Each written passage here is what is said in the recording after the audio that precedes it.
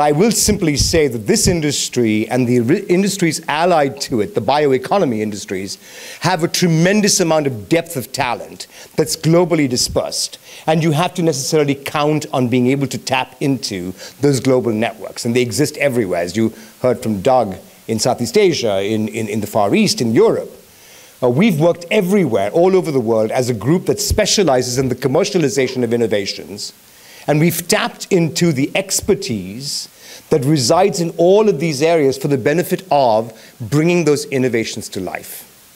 You know the old GE line, we bring good things to life. Well, entrepreneurs never get into the business, and Masood talked about this earlier, they never get into the business of wanting to do this for, to make money, except for the app people in Silicon Valley, right? This is about us, just a small commercial. We specialize in commercialization accelerator programs that are virtual and not physically located in any particular location, which means we're agnostic, which means we're going to be more neutral about your assets and your issues and your drivers.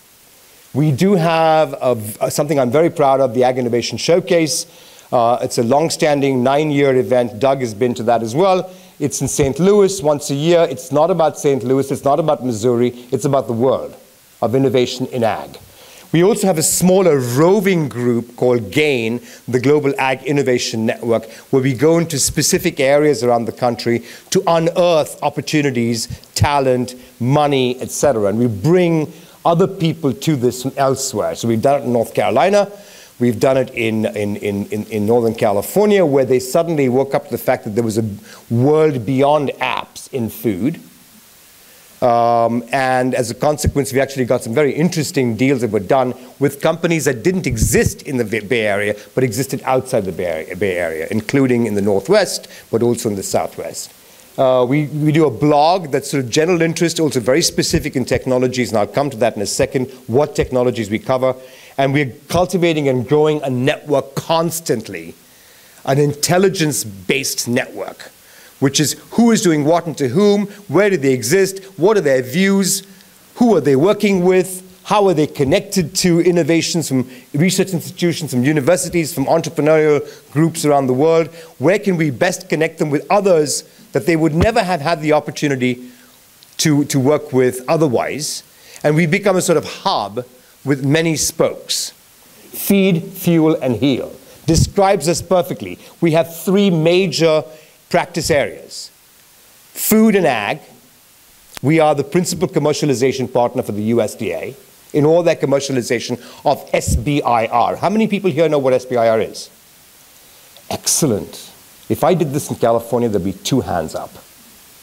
That's to show you how, how crazy things can get. Very good. Keep it up. SBIR is the only program available for emerging research focused on for-profit companies, not on researchers, not on groups of scientists working in a lab tirelessly, but sometimes removed from the issues of the market, but for-profit companies that have to live and die by decisions they make every day in the marketplace. We need more wonderful ideas that come forward for the SBIR competition in the USDA, frankly. We'll about in a second. So we understand that for entrepreneurs, one size does not fit all. They come in with their own assets, with their own mindsets, with their own issues, with their own histories, with their own aspirations and dreams. This is the land of Edison, and we ought to be able to celebrate that. The diversity and the not just gender diversity or racial diversity, but diversity in terms of our own mindsets and our own histories and backgrounds is such that we need to be able to recognize that each entrepreneur is different. Not just in terms of stage, but in terms of prospect and promise and the opportunities that they, that they may or may not take. So what we've come up with is a network-centric, as we call it, approach to entrepreneurial education, entrepreneurial knowledge sharing, and know-how and connections and this is the kind of, it's a very simple diagram, but it essentially illustrates how, as a hub organization, we can be a connector, but also a major, uh, what I should call a provoker, a provocateur of the kinds of interactions that can be had between entrepreneurs, industry folks, governments, universities, and a whole range of other things. And so mindsets, their own backgrounds, their own aspirations. There has to be a core of discipline associated with it, of course, and that's what we come up with. It's a philosophy and a methodology. But beyond that, it is a way of operating that's going to serve them well as they move out into full commercialization. So it is a commercialization accelerator, a virtual one, because, and I'll show you that in a second here, our clients are throughout the sciences. The events that we do, there are two specific sets of events around agriculture because as, uh, as I was saying to Marie earlier, we work on technologies that feed, fuel, and heal the world. If there is the promise of a bioscience future in LA's future, it is the fact that this is a gigantic metropolis with all of the characteristics that you would expect to have from a metropolis of its size. And I want to tell you folks, if you're in the sciences, you have a necessary obligation to be simple and to effectively translate for everyone because this is a very dangerous moment. Not because of the political issues that are swirling around the country, but because of the specific issues that nominate our body politic and the dialogue around the sciences. Fact is an, an option right now, and that is not good.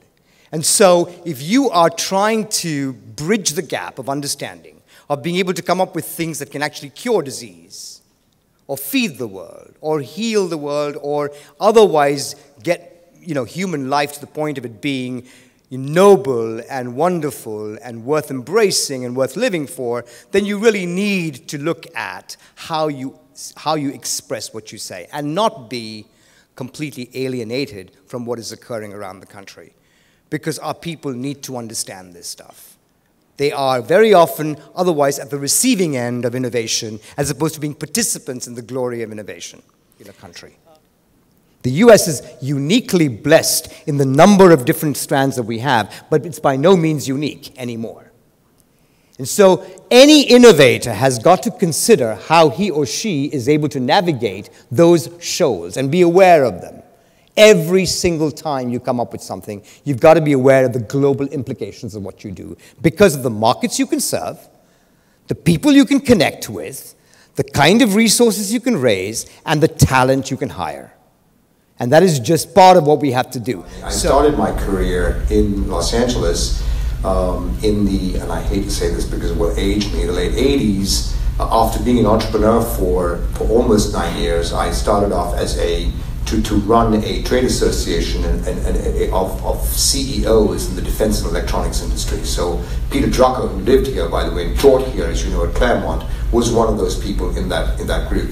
Mal Currie, who was CEO of Hughes at the time, which has now morphed considerably, uh, a number of other great folks in Boeing and Northrop and, and Lockheed were part of this little group of CEOs, and I managed that group for a few years. It's called the President's Roundtable we worked on and through the defense downsizing that started in California at the beginning of the 90s. And if you didn't know this already, well before the rise and the extreme attention paid to Silicon Valley, this state was a cauldron of technology.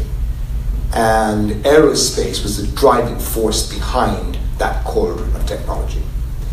And when aerospace declined, as it did at the end of the first Gulf War in the early 90s, uh, there was a considerable amount of pain, specifically felt in Los Angeles, because it was ground zero for the aerospace industry. I have to simply say, this city and this area has gone through four or five reinventions since the Second World War. And what has stayed on is some very fundamental building blocks of any kind of economy that's technology based, right? You've got visualization and simulation, you've got propulsion, you've got engineering technologies, you've got materials, all of which, by the way, in one way or the other, will be pertinent even to the biosciences industry. Uh, the great strength of the region is not that it has all of these industries, but that it is able to stitch together a future that involves all of them in a very significant way. And I think it's going to be up to us as a community to be able to continue to move that forward but I also have to say, foreign investment, because of the history of foreign investment in Los Angeles as a pioneering place, if you spot out opportunities here, foreign investors, if you spot out opportunities here, you have the, the, re, the real chance to make a difference because you know what? You don't want to go to, as Wayne Gretzky said, you don't want to go to where the puck is. You want to go to where the puck will be. And where it will be is not where San Francisco or Boston are right now. It will be whether you call it a vision of the future or the city of dreams, whatever you want to call it, Los Angeles is that kind of place. One thing that every one of you uh, needs to recognize is this just an empty passion? Or do you have a real need, not just to transform because of your passion, but to build a sustainable business? Because sustainability is the key to any entrepreneurial venture that needs to be able to look at itself as transforming human life and human prosperity.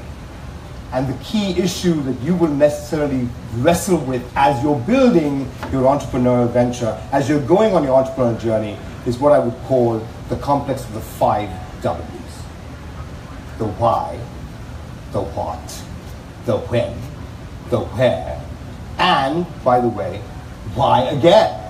Which you have to keep asking yourself over and over and over again. And let me go through that. So, why? Why are you doing this? What is it that drives you? Is it a personal drive or is it some kind of intellectual curiosity that's driving you to build this particular innovation in this particular time, in this particular place?